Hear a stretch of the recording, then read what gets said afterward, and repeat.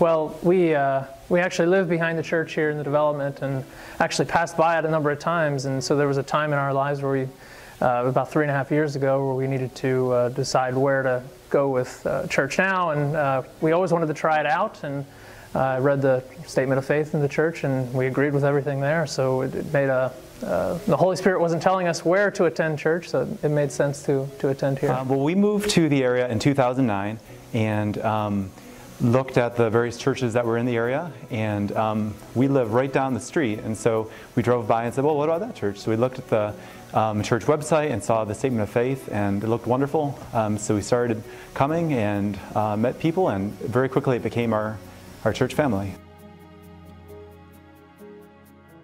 Wife and my two children, my wife Heather and my children, uh, son Chase, who just turned seven, uh, and a daughter Ruth, who's just turned five. Um, so my name is David. I have a wife named Rachel. Uh, we met in 2001 got married in 2004. Um, and um, the Lord has blessed us with four kids. So Tobias is my eldest. He goes by Toby. And then Violet and Tessa and Jeremiah. So there are six of us. I'm actually on the missions uh, team. Uh, I enjoy serving there. Uh, my wife uh, actually teaches the uh, pre-K class uh, Sunday mornings, um, and the kids obviously attend. Different things um, throughout the years. So um, pretty early on, in fact, right around the time we became members, we were helping out with the adult um, Sunday school class, the Transformers class, um, and so um, I've helped with the teaching rotation with that, and I've really enjoyed that. I, I have a passion for the Word of God, and that's been a lot of fun just to grow alongside some of those men and women.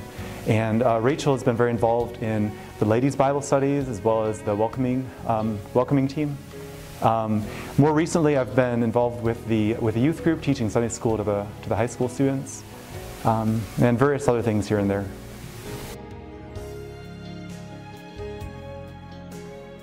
I think um, I'd like to remember for my sacrifice for others, honestly. I think uh, that what Jesus did for us and said is that, you know, those who are forgiven can forgive more. And I believe I've been forgiven a lot.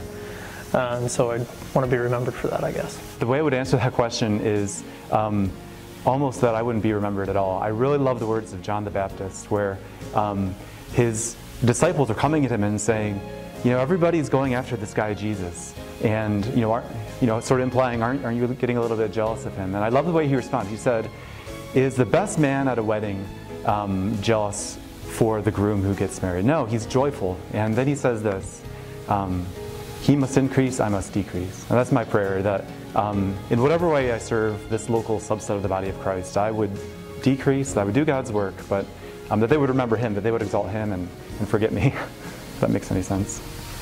But that really is honestly my point of view on it.